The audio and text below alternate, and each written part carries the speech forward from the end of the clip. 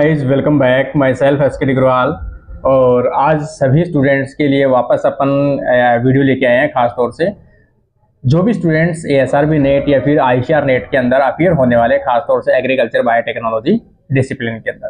तो इससे पहले अपन ने part one part two complete कर चुके हैं। अभी पार्ट अपन थर्ड लेके आए हैं। मैंने आपको पहले भी बताया है कि अभी जो टाइम है, अपनी जो एग्ज़ाम है एग्रीकल्चर बायोटेक की, वो कितनी की है? सत्ताईस को। ठीक है। सत्ताईस से पहले जितने भी क्वेश्चन बनेंगे मुझसे, वो सभी आप लोगों के सामने शेयर करूँगा, ताकि आप लोगों को बेनिफिट हो सके। इसी पार्ट को बढ़ाते हुए आगे अपन थर्ड पार्ट पे चलते हैं क्वेश्चन नंबर फिफ्टी वन से। ठीक है। क्वेश्चन नंबर फिफ्टी वन में अपन देखें तो यहाँ पर, देखो सिंपल सा क्वेश्चन है। BT cotton contain BT cotton में क्या पाया जाता है? देखो, हमेशा मैं बता रहा हूँ, आपको बीटी कॉटन से रिलेटेड है एग्रोबैक्टीरियम से रिलेटेड है ये टॉपिक्स हमेशा इसी में पूछे जाएँगे आपको एस आर बी नेट में। यो क्यों? आप देख लेना चाहिए, ठीक है ना? तो यहाँ पर बीटी कॉटन जो चीज़ें हैं, ऐसी ऐसी कॉमन कॉमन चीज़ें सभी भाई आप पढ़ के जाना एक बार, ठीक है ना? इसमें क्राइजीन जो है वो इसमें पाया जाता है और पेस्टिसाइड जो भी है मतलब पेस्ट के प्रति रेजिस्टेंट बनाने के लिए बीटी कॉटन को तैयार किया गया था। उससे रिलेटेड जो भी इंफॉर्मेशन हो, आपसे सर्च करके आप बुक्स में या फिर अपन कहें नेट पे अवेलेबल हो तो आप लोग उसको थोड़ा सा देख लीजिए नेक्स्ट क्वेश्चन हम देखिए 52 के अंदर given below are two statements दो स्टेटमेंट्स दिए गए हैं, ठीक है? पहला foreign gene can be cloned into plasmid cloning vector ठीक है, कर सकते हैं अपन। कोई भी बाह्य जो पार्टिकल्स है फोरिजन जीन है, उनको प्लाज्मिड के अंदर अपन क्या कर सकते हैं? कॉपी कर सकते हैं, ठीक है, एक आंसर रीजन देखो इसमें। Cloning vector can be use for expressing the foreign gene in bacteria system ये भी ठीक है। ठीक है, कोई भी फोरिजन पार्टिकल्स है प्लाज्मिड में डालकर बैक्टीरिया के अंदर उसकी मल्टीपल कॉपीज है वो तैयार की जा सकती है, उसको एक्सप्रेस भी किया जा सकता है। दोनों सेंटेंस भी सही है। ठीक है तो इसका राइट आंसर जो अपन देखें तो इसका राइट आंसर है वो ये कर दो आपको। A and R both are correct ठीक है, ये इसका सिंपल सा रहेगा इसका आंसर नेक्स्ट क्वेश्चन अपन देखें यहाँ पर।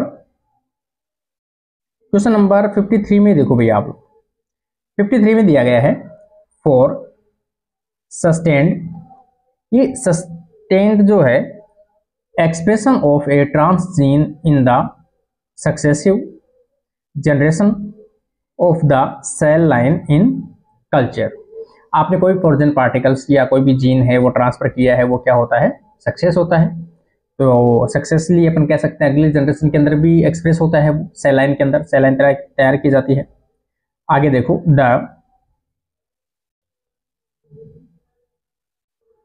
ideal gene transfer can be obtain using ठीक है, कौन से मेथड से आप उस जीन को ट्रांसफ़र करोगे कि वो अगली सेल लाइन में भी दिखे या अगली पीढ़ी में भी वो जीन जा सके। इसका मतलब सीधी सी बात है, कोई भी मेथड आप यूज़ में लो, अपन जिस फोर्जन जीन को आप ट्रांसफ़र करना चाह रहे हो, वो पार्टिकल्स या जो जीन है, वो जिस जीन में आप ट्रांसफ़र करना चाहते हो, उस जीनोम के अंदर इंसर्ट होना ज़रूरी है। ऐसा नहीं साइटोप्लाज्म में रह गया, किसी सेल ऑर्गेनल के अंदर चला गया।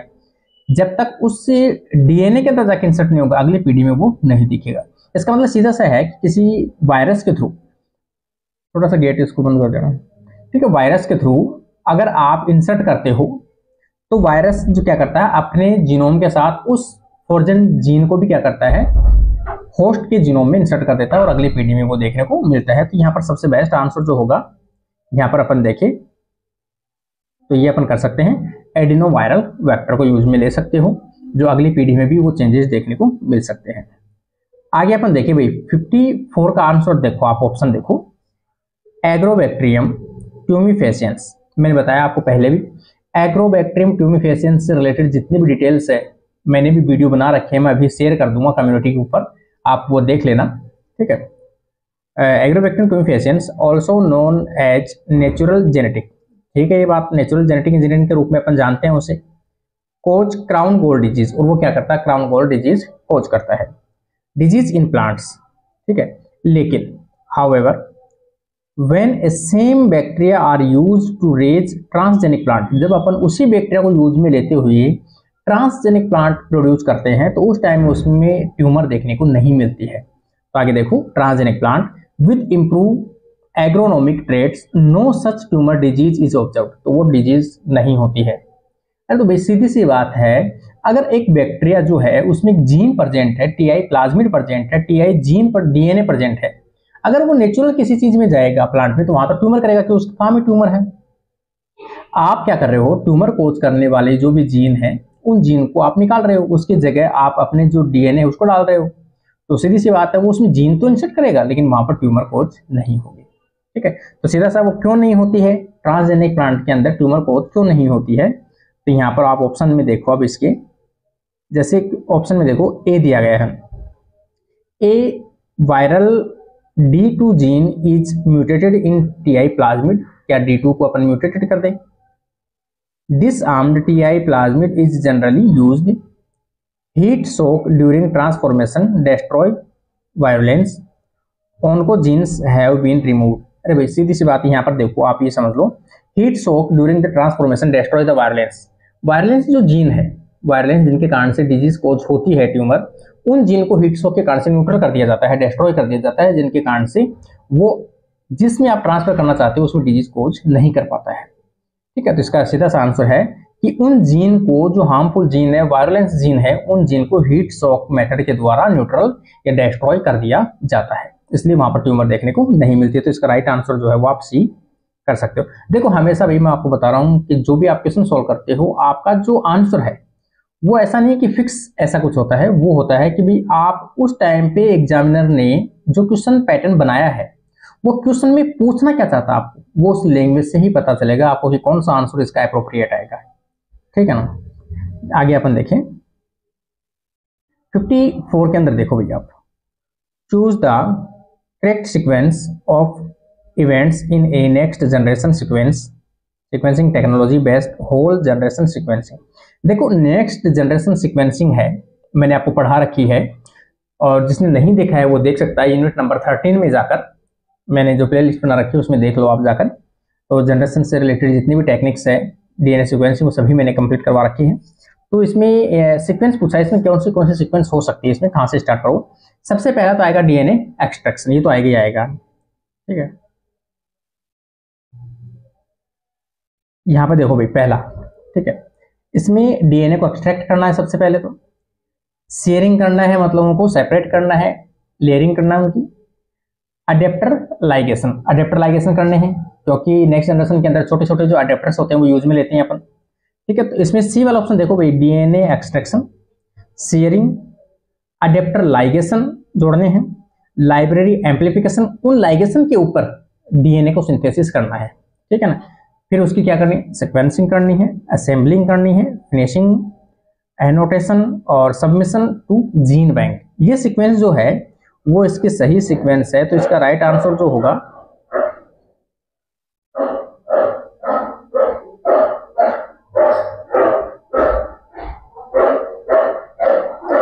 ये इसका राइट आंसर होगा। नेक्स्ट क्वेश्चन अपन देखिए 56 के अंदर। Which one of the following is Carnoy's fixative fixative का मतलब होता है किसी भी चीज़ को फिक्स करना, ठीक है ना? किसी भी सैंपलिंग के दौरान अपन किसी चीज़ को स्टेबल करते हैं फिक्स करते हैं वहाँ पर। ये जो कार्नोइड फिक्सेटिव है वो यूज़ में आता है। इसका जो कंपोजिशन है वो क्या होता है? ठीक है ना? तो कंपोजिशन देखें। तो इसके अंदर इथाइल एल्कोहल होता है एसिटिक एसिड होता है और क्लोरोफॉर्म होता है। इसका राइट आंसर जो है वो डी ऑप्शन आप इसको कर सकते हो। यहाँ पर इसका राइट आंसर जो है वो आप ये ऑप्शन कर सकते हो। ठीक है? कई जगह हो सकता है आपको इसका आंसर जो है वो आपको एसिटिक एसिड और एल्कोहल भी मिले, लेकिन इसका जो अप्रोप्रिएट आंसर है वो इथाइल एल्कोहल एसिटिक एसिड और क्लोरोफॉर्म का कंपोजिशन देखने को मिलता है। ठीक है ना? नेक्स्ट क्वेश्चन अपन देखें इसमें। एक फिफ्टी सेवन में देखो एम्पोलाइट्स are used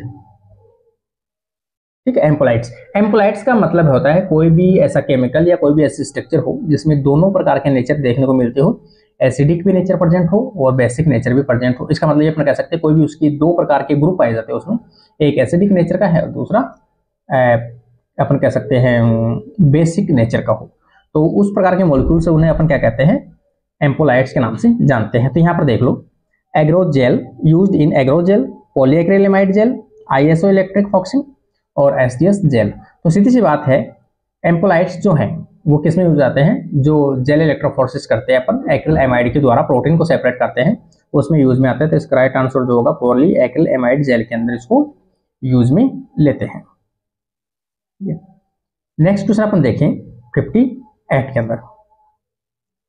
Who show that precipitation reaction indicate antigen similarities किसने बताया था? एंटीजन एंटीबॉडी के बीच में जो रिएक्शंस होती है, वो वाली चीज़ें। तो यहाँ पर इसका राइट आंसर आ जाएगा स्मिथ ने। इसका राइट आंसर आ जाएगा स्मिथ ने। साइंटिस्ट थोड़े कम पूछे जाते हैं, हो सकते हैं पूछ ली जाए। ठीक है? यहाँ पर देखो, एक क्वेश्चन 59 के अंदर देखिए अपन ferric ammonium sulphate is a ferric ammonium sulphate सीधी सी बात है, धातु रखने वाला एक कंपोनेंट है केमिकल कंपाउंड है।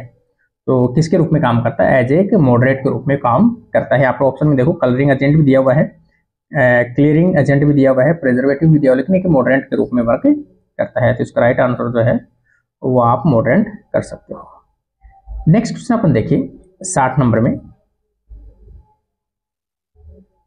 ठीक है।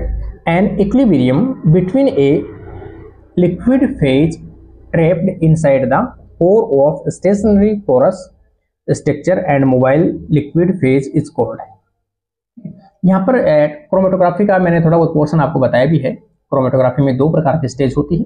एक स्टेशनरी फ़ेज़ होती है, एक मोबाइल फ़ेज़ होती है। स्टेशनरी फ़ेज़ जो कॉलम के अंदर फिल की जाती है, जो खासतौर से सिलिका की बनी होती है या एलुमिना की बनी होती है, और उसके अंदर जो लिक्विड फ़ेज़ है, वो डाली जाती है। यहाँ पर क्या पूछा है? An equilibrium between liquid phase liquid phase जो आपने लिक्विड मोबाइल फ़ेज़ डालते हैं लिक्विड फ़ेज़ ट्रेप्ड इनसाइड, किसके अंदर ट्रेप पकड़ लिया जाता है, उसको trapped inside, the porous of stationary porous structure, जो स्टेशनरी स्टेज है, उनके अंदर जो बीट्स होती है, उनके बीच के अंदर उनको फंसा लिया जाता है। ये वाली कंडीशन ठीक, इसका मतलब ये कब पकड़ते हैं? जब कोई भी विपरीत कंडीशन हो। विपरीत प्रकार के आयन लगे हुए हो, और दूसरे विपरीत आयन डालते मतलब पॉजिटिव आयन इसमें कॉलम में है। और नेगेटिव आयन आप डाल रहे हो तो नेगेटिव पॉजिटिव के बीच में क्या होगा? इंट्रैक्शन होगा, जिसके कारण से वो मॉलिक्यूल्स है वो ट्रैप कर लिए जाएँगे। इस प्रकार की कंडीशन है वो कौन से में पाई जाती है? तो यहाँ पर अपना ऑप्शन दे सकते हैं। आयन एक्सचेंज क्रोमेटोग्राफी के अंदर ये कंडीशन देखने को मिल सकती है। तो इसका राइट आंसर जो है वो आयन एक्सचेंज क्रोमेटोग्राफी दे सकते हो। एक अपन देखें 61 के अंदर की देखो। NMR spectroscopy is based on NMR spectroscopy किस पे बेस पर है, जो न्यूक्लियर मैग्नेटिक रेजोनेंस जो है, स्पेक्ट्रोस्कोपी स्पेक्ट्रोस्कोपी हमेशा एब्जॉर्बेंस के डिपेंड करता है। ठीक है तो ये किस पे डिपेंड होता है? एब्जॉर्बेंस के ऊपर डिपेंड करता है। तो इसका राइट आंसर जो है वो आ जाएगा एब्जॉर्बेंस एब्जॉर्प्शन मतलब एब्जॉर्प्शन क्या सिक्सटी टू के अंदर अपन देखें in electrophoresis if pH above the isoelectric point protein will be देखो आइसोइलेक्ट्रिक पॉइंट अपन किसे कहते हैं? कोई भी मॉलिक्यूल्स हो, कोई भी एमिनो एसिड्स हो, जिनके ऊपर पॉजिटिव और नेगेटिव चार्ज इक्वल हो। मतलब समझ रहे हो आप? जिनके ऊपर इक्वल रूप से चार्ज पाया जाता है, एक नेगेटिव है तो एक ही पॉजिटिव है। और उनको ओवरऑल अपन क्या कह सकते हैं? ज्यूट्राइन भी कह सकते हैं। और ऐसे एमिनो एसिड्स जिनके ऊपर चार्ज ज़ीरो हो, ये भी कह सकते हैं अपन, क्योंकि न्यूट्रल है एक दूसरे के लिए। तो उस पीएच को जहाँ पर एमिनो एसिड के चार्ज ज़ीरो हो, उसे अपन क्या बोलते हैं? आइसोइलेक्ट्रिक पॉइंट बोलते हैं। ठीक है? कोई भी एक प्रोटीन है, इन्होंने बताई है, कोई भी एक प्रोटीन है, जो आइसोइलेक्ट्रिक पॉइंट के ऊपर की तरफ़ जा रही है, ऊपर की तरफ़ रखी गई है। ठीक है? ऊपर की तरफ़ रखी है, इसका मतलब प्रोटीन के ऊपर कौन सा चार्ज है? ऊपर की तरफ़ रखी गई तो नेगेटिव चार्ज है, क्योंकि अपन जानते हैं सेवन पीएच से ऊपर वाला जो चार्ज होता है, वो नेगेटिव होता है। और नीचे तरफ़ बढ़ते हैं तो एसिडिटी बढ़ती जाती है एसिड बढ़ता जाता है और पॉजिटिव चार्ज बढ़ता जाता है। प्रोटीन कहाँ पे रुकी हुई है? आइसोइलेक्ट्रिक पॉइंट के ऊपर की तरफ़ रुकी हुई है। यहाँ पर देखो, in electrophoresis if pH above isoelectric point H protein will be तो यदि ऊपर की तरफ़ है चार्ज उसका तो सीधी सी बात हो पॉजिटिव की ओर मूव करेगी। पॉजिटिव की ओर मूव करेगी तो जितनी ऊपर है उतनी नेगेटिव की तरफ़ पॉजिटिव की तरफ़ मूव करेगी और वहाँ पर जाकर वो क्या हो जाएगी? न्यूट्रल हो जाएगी। इसका मतलब नेगेटिव से वो पॉजिटिव की तरफ़ मूव करेगी तो यहाँ पर माइग्रेट टू एनोड वो एनोड की तरफ़ मूव करेगी। जिसका राइट आंसर जो है वो ये आ जाएगा। B option migrate to anode next question अपन देखें 53 number the most important property of any microscope किसी माइक्रोस्कोप की प्रॉपर्टी होती है। इट पावर ऑफ़ रिजोल्यूशन सभी माइक्रोस्कोप में अलग अलग रिजोल्यूशन पावर देखने को मिलती है ठीक है ना? कि वो कितनी, किसी चीज़ को कितना शार्पनेस दिखाता है। उसी को अपन क्या बोलते हैं? रिजोल्यूशन पावर बोलते हैं। Which is numerically equivalent to the minimum distance between the minimum distance between the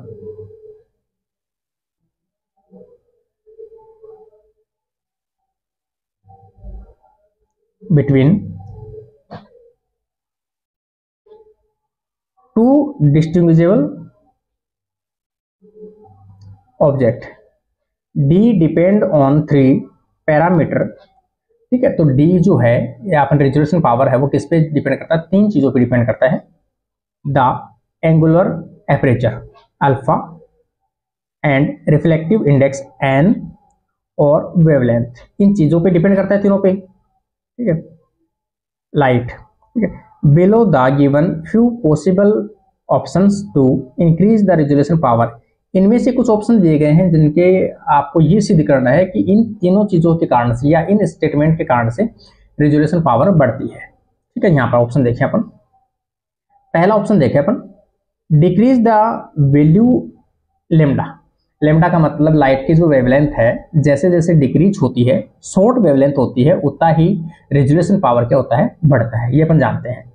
तो यहाँ पर देखा decrease the value of lambda wavelength और इंक्रीज एन और एन का इंक्रीज होना, ठीक है न्यूमेरिकल एपरेचर और alpha to improve resolution power तो उनके कारण से रिजोल्यूशन पावर बढ़ता है।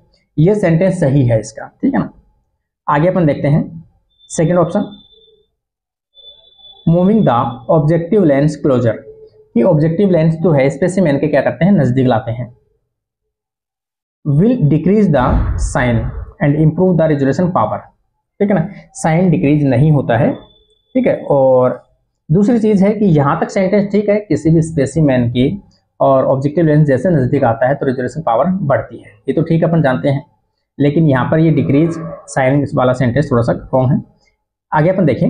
Using a medium with high reflection index between the specimen and the objective lens to the improve the resolution power, ये भी सीख है ठीक है ना? क्योंकि एक तो अपन एयर के अंदर यूज़ में लेते हैं और एक ऑयल इमर्सन के यूज़ में लेते हैं। ऑयल इमर्सन के अंदर जो है रेजिस्टेंस पावर है या शार्पनेस है वो बढ़ती है।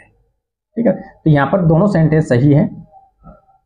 इसका यहाँ पर फोर्थ में तो देखो increase the wavelength wavelength increase होती है, वैसे भी अपन जानते हैं पावर क्या होता है रेजोल्यूशन पावर डिक्रीज होता है तो ये तो वैसे भी गलत है। इसके अकॉर्डिंग इसका राइट आंसर जो है, वो कौन सा होगा? एक और तीन है वो इसका राइट आंसर बैठेगा। नेक्स्ट क्वेश्चन अपन देखें। 64 में देखो आप। भाई, एक क्वेश्चन लास्ट वीडियो दो नंबर वीडियो के अंदर मैंने बताया था 59 नंबर क्वेश्चन उसमें जो था, उसमें पूछा गया था तो वो थोड़ा सा मिस्टेक से हो गया। उसका राइट आंसर जो होगा, वो होगा सटल वेक्टर क्योंकि उसमें पूछा था, कोई भी ऐसा प्लाज्मिड जिसमें दो प्रकार के ओरिजिन ऑफ़ रेप्लीकेशन पाए जाते हो और दो होस्ट के अंदर वो रेप्लीकेट कर सकते हो। तो ऐसा तो किसको बोलते हैं? अपन सटल वेक्टर बोलते हैं। यहाँ पर देखो, वापस एक क्वेश्चन आ गया। Shuttle vector is defined as shuttle vector किसे बोलते हैं? तो सटल वेक्टर किसे बोलते हैं? A plasmid capable of replicating in two different host दो डिफरेंट होस्ट के अंदर रेप्लिकेट कर सकते हो, उसे अपन सटल वेक्टर बोलते हैं। इसका मतलब एक ओरिजिन सेंटर उसमें ओ पाया जाएगा मतलब बैक्टीरिया के अंदर भी रेप्लिकेट कर सके और एक उनके अंदर अपन बात करें ए आर एस सिक्वेंस पाई जाती है ऑटोनॉमस रेप्लीकेटिंग सिक्वेंसिंग जो ईस्ट के अंदर भी रेप्लीकेट कर सकता है। इस प्रकार के जो प्लाज्मिड है, इस प्रकार के जो वेक्टर है, उसे अपन क्या बोलते हैं? सटल वेक्टर के नाम से जानते हैं तो इसका राइट आंसर कौन सा होगा? डी इसका राइट आंसर होगा।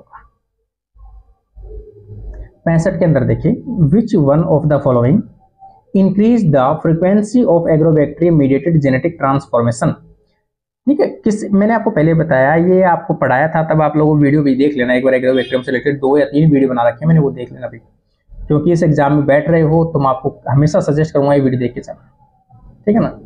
आ, तो इसमें बताऊँ आपको कि जैसे ही कोई लीफ जो है खासतौर से अपन जानते भी हैं कि ये डाइकोट्स को इन्फेक्ट करते हैं तो डाइकोट्स की जो लीफ है उसमें कट लगता है।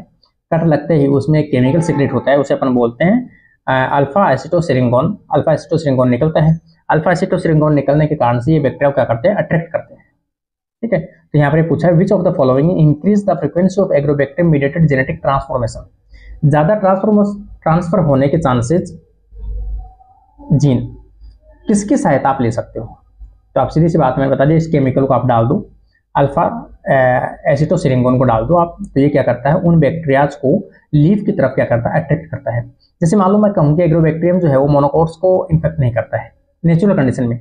लेकिन अगर मोनोकोट्स की लीफ को छोटे छोटे पीस में कटिंग कर कर आप बैटरी प्लेट में डाल देते हो, और उसमें एसिटोसिरिंगोन की डिप करके वो लीफ डाल देते हो, और उसमें एग्रोबैक्टीरियम का कल्चर डाल देते हो तो एग्रोबैक्टीरियम जो है, वो उस लीफ को क्या कर सकते हैं? इन्फेक्ट कर सकते हैं। उनको मतलब नहीं है मोनोकोट लेकिन एसिटोसिरिंगोन रिलीज़ होना चाहिए। ठीक है? तो मोनोकोट्स में एसिटोसिरिंगोन जनरली नहीं देखने को मिलता है। इसलिए एसिटोसिरिंगोन का ट्रीटमेंट बाहर से दे दो और मोनोकोट्स में इन्फेक्शन करवा सकते हो आप। ठीक है ना? तो इसका राइट आंसर आ जाएगा बी ऑप्शन, कि एसिटोसिरिंगोन का ट्रीटमेंट देकर आप एग्रोबैक्टीरियम से मीडिएटेड जो प्रोसेस है, उसको बढ़ा सकते हो। नेक्स्ट क्वेश्चन अपन देखिए sixty six following step during the recombinant DNA technology recombinant DNA technology के अंदर कौन से कौन से स्टेप्स को आप फॉलो करते हो? सबसे पहले तो आपको होना चाहिए जिस जीन की आप कॉपी करना चाहते हो, उस जीन को आइसोलेट करो, उसके छोटे छोटे फ्रेगमेंट्स बनाओ दूसरी चीज़, जिस प्लाज्मिड जिस वेक्टर में आप उसको इंसर्ट करना चाहते हो, उसको आप आइसोलेट करो। उस वेक्टर को आप कट करो। कट करने के बाद में उसमें इंसर्ट करो। इंसर्ट करने के बाद उस रिकॉम्बिनेंट जो वेक्टर बना है, उसको होस्ट के अंदर इंसर्ट करो, होस्ट के अंदर इंसर्ट करने के बाद उसको कल्चर करो। ये सभी प्रोसेस होती है। यहाँ पर देखो, सबसे पहले breaking of donor DNA using restriction enzyme सबसे पहला पॉइंट ये तो ठीक है। अब देखो कल्चर ऑफ़ क्लोन्ड बैक्टीरिया ये तो ठीक है। आइसोलेटिंग सुटेबल प्लाज्मिड ये भी ठीक है। अब देखो आइसोलेटिंग ऑफ़ सुटेबल प्लाज्मिड ये ठीक है। Isolation of suitable plasmid. पहले ये आइसोलेट करो दो नंबर आ जाएगा। अब देखो joint of donor DNA with suitable plasmid मैंने बता दिया दोनों को रिकॉम्बिनेंट तैयार करो। उसके बाद में कौन सा आ जाएगा? फाइव नंबर का आ जाएगा। तीन नंबर फिर आगे देखो आप ए, उसके बाद में क्या आएगा? Insertion of recombinant DNA through cloning ठीक है?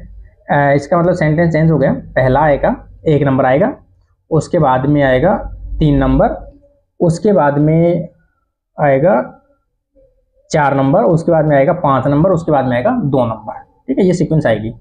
अब ये सीक्वेंस देखो भी किसमें है। पहले, सबसे पहले देखो, एक नंबर एक नंबर इनमें दोनों में है, इसमें भी इसमें भी है। फिर देखो आप तीन नंबर इसमें भी इसमें भी है। फिर देखो आप insertion of recombinant DNA through cloning फिर उसके बाद में देखो आप भाई पाँच, उनको ज्वाइंट कर दो। ज्वाइंट करने के बाद में आप इंसर्ट कर दो किसमें? होस्ट के अंदर। तो फिर आ जाएगा चार और फिर आ जाएगा लास्ट में दो। इसका ओवरऑल जो आंसर होगा वो कौन सा होगा भाई? ये वाला इसका राइट आंसर होगा। ऐसे क्वेश्चन काफ़ी बार पूछे जाते हैं। सिंपल सिंपल सिक्वेंस आपको याद रखनी है थोड़ा सा माइंड के अंदर। और आराम से आप इसको सॉल्व कर सकते हो। 67 नंबर में देखो one of the following is not associated with the gene cloning gene cloning से एसोसिएटेड विद नहीं है। प्लाज्मिड से कर सकते हो बैक्टीरियोफेज भी कर सकते हो कॉस्मेट से भी कर सकते हो, लेकिन एस आर एन ए जो है स्मॉल आर एन ए है, वो कोई यूज़ में नहीं आता है जिसकी कॉम्बिनेशन से रिलेटेड टेक्निक्स में या जीन क्लोनिंग के अंदर। एक क्वेश्चन अपन देखें। The polymerase chain reaction is powerful technique use to. ठीक है तो पीसीआर सीधी सी बात है जीन एम्पलीफाई के यूज़ में आता है जीन की मल्टीपल कॉपीज प्राप्त करने के लिए आता है। इसमें देखो म्यूटेंट जीन एम्पलीफाई जीन्स तो इसका राइट आंसर है, सोचने की आवश्यकता ही नहीं है जीन एम्पलीफिकेशन के अंदर यूज़ में आता है। ठीक है नेक्स्ट क्वेश्चन अपन देखें सिक्सटी के अंदर doctor Kary and B Mullis was awarded Nobel prizes in chemistry nineteen 1993 for his work on तो इन्होंने किसकी डिस्कवरी की थी? पीसीआर की डिस्कवरी की थी। ठीक है तो ये क्वेश्चन हमेशा लाइफ में मेरे याद ही रहता है, क्योंकि जब मैं फ़र्स्ट टाइम किसी कॉलेज में टीचिंग कराने गया था तो उस टाइम का छोटा सा है कि फ़र्स्ट टाइम मेरी डेमो क्लास थी, और उस टाइम में किसी स्टूडेंट ने पूछा था कि सर एक क्वेश्चन पूछना है। मतलब वो भी स्टूडेंट भी क्या करे, उस लड़की को उन्होंने आपस में कर दिया था, ऐसे चलाने के लिए रहते हैं ना बच्चे आपस में। तो कह दिया कि, सर, को पूछो, इसको आता है कि नहीं आता है? तो उस लड़की ने नीचे किताब रख रखी थी ऐसे टेबल के नीचे और ऐसे सामने से जनरली पूछ रही सर, एक क्वेश्चन पूछना है, मैंने कहा, बताओ। बोल, सर, इसकी जो आप पीसीआर पढ़ा रहे हो, इस पीसीआर की जो डिस्कवरी वो किसने की थी? तो मैंने बता दिया उनको, मैंने कहा, कैरी मुलिस ने की थी। मुझे पता था, उसके नीचे बुक रख रखी है उसने। दूसरे दिन मैं जैसे ही उसकी क्लास में वापस पढ़ाने गया था तो मैंने कहा कि, आप खड़े हो जाओ? बोली हाँ सर। मैंने कहा, कल आपने एक क्वेश्चन पूछा था। बोला, सर, पूछा था। मैंने कहा, उसका आंसर बताओ एक बार आप। तो हम वो बोले, सर, मेरे को तो याद नहीं है। मैंने कहा, मुझे पता था आपके नीचे किताब रख रखी थी आपने। और फिर वो करने लगे नहीं, सर, मैंने नहीं रखी, ये तो बाहर से आस पास में रखवा दी थी, ये, वो। तो ये छोटी सी चीज़ें हैं जो हमेशा हमेशा लाइफ टाइम के लिए याद रहती है छोटी छोटी चीज़ें।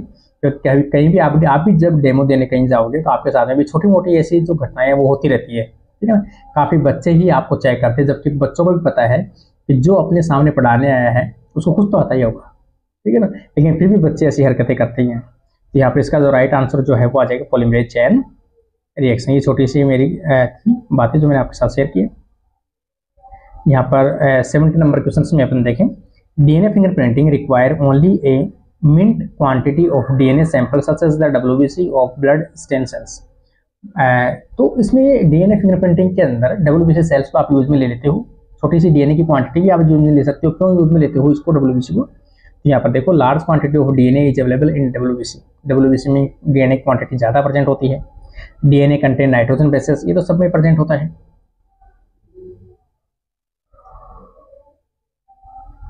इसमें अपन देखें DNA can be amplified through PCR DNA determine heredity इसका देखो ऑप्शन एक तो ये हो सकता है कि डब्ल्यूबीसी में जो डीएनए की कंटेंट ज़्यादा होती है, लेकिन मेरे अकॉर्डिंग जो डीएनए की कंटेंट है, वो तो लगभग सभी सेल्स में इक्वली होती है। ठीक है, एक ऑप्शन ये है कि DNA can be amplified through PCR अगर आपको पास में एकदम मिनिमम क्वांटिटी भी अवेलेबल है तो भी आप उसकी मल्टीप्लाई कर सकते हो पीसीआर के थ्रू और पीसीआर के थ्रू अगर आप उसकी मल्टीपल कॉपीज प्राप्त कर चुके हो तो उसके बाद में आइडेंटिफाई करना, उसकी डीएनए फिंगरप्रिंटिंग करना आसान है। इसलिए मेरे अकॉर्डिंग इसका राइट आंसर जो होगा, वो सी ऑप्शन होगा। ठीक है ना? इसका राइट आंसर जो होगा वो सी ऑप्शन होगा। नेक्स्ट क्वेश्चन अपन देखें। The maximum length of DNA that can be cloned within plasmid ये सभी चीज़ें भी आप देख लेना, कौन से वेक्टर के अंदर कितने डीएनए की कॉपी कर सकते हो। ये मैंने भी छोटा सा वीडियो बनाया था, शायद आप प्ले में जाकर या कहीं देखना आप लोग। थर्टीन यूनिट में देख लेना आप जाके। उसमें मैंने सभी वेक्टर्स की एक छोटी सी लिस्ट बना रखी है। कौन से वेक्टर में कितने लॉन्ग डीएनए की आप कॉपी कर सकते हो? ये सभी चीज़ें मैंने बता रखी है उसमें। तो यहाँ पर नॉर्मल प्लाज्मिड पूछा है। तो ये पंद्रह किलो बेस पेयर डीएनए की कॉपी कर सकता है। तो यहाँ पर पंद्रह हज़ार बेस पेयर दिया गया है। तो इसका राइट आंसर जो होगा, वो कौन सा होगा? सी ऑप्शन इसका बेस्ट आंसर होगा।